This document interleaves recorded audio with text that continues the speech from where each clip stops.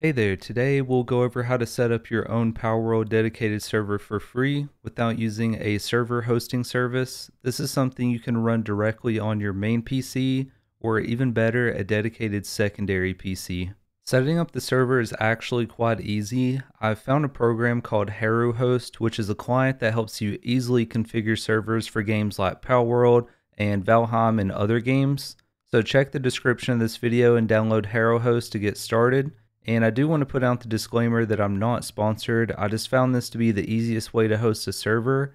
This program is completely free. It sets up all the server files for you and it shows detailed server information. So in my opinion, there's just no reason not to use this.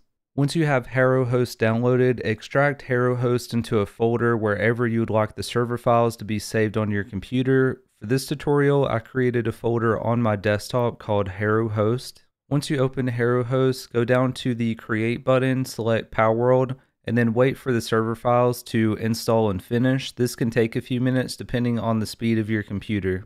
Once the server files have installed, you now have your server. Now, in order for your friends to connect to your server, you're going to need to port forward your internet router or have your friends use a LAN emulator software such as Hamachi. I highly recommend port forwarding just for a better connection and it prevents you from having to install any additional software. If you already know how to port forward, you're just going to port forward the port 8211 for TCP and UDP both. Unfortunately, there is no universal way to port forward your router. Every router is different, and certain internet providers may even block this feature from their users. I would suggest locating your router's model number and looking up how to port forward your specific router. While you are port forwarding, I would also suggest setting up a static local IP address for the computer that you're setting the server up on.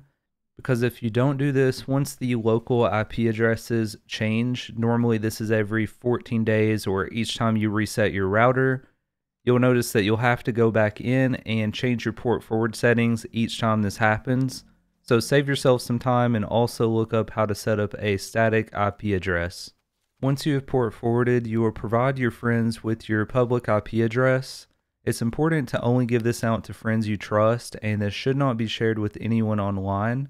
If you want to create a server for anyone to join, I would suggest spending money on a dedicated host server so you're not giving out your public IP address.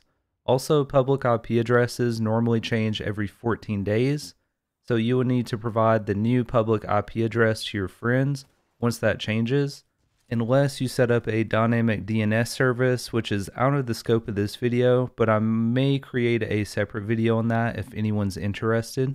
And at this point in the video, if you've completed all those steps, you and your friends should be able to join the server. If you have any connection issues at this point, please recheck your port forwarding. Nine times out of 10, any connection issue is going to be because of something wrong with your port forwarding, or maybe your public IP address changed there are a few different things that could go wrong and prevent your friends from being able to join your server. So once you verify that you and your friends are able to connect to the server, you can then shut down the server, go into the server config settings and adjust any values that you want to change, including the capture rate, spawn rate, etc. It's fully customizable to however you would like. One tip I would like to give is anytime that you're editing your configuration file, please shut down your server first because I've noticed that these changes normally do not save if the server is still running, even after restarting. So make sure if you're changing any values here and you want them to stick, go ahead and shut down your server and then edit the configuration files and then start your server back up. What I like about HaruHost is you can also go in and configure some automatic scheduled events such as a server restart, however often you would prefer. You can also back up your server and you can update the server from here.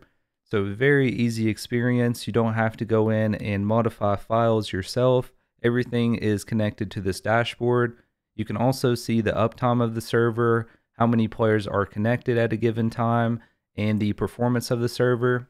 That's going to be it for this video. If you have any questions, drop them below and I'll try to help as much as I can. If it's an issue regarding port forwarding, you'll probably get more assistance reaching out to the manufacturer of your router. Unfortunately, I won't be able to help much there, but any other questions, I should be able to help in the comments below. As always, it's been Xielent. I'll catch you in the next video. Thanks for watching.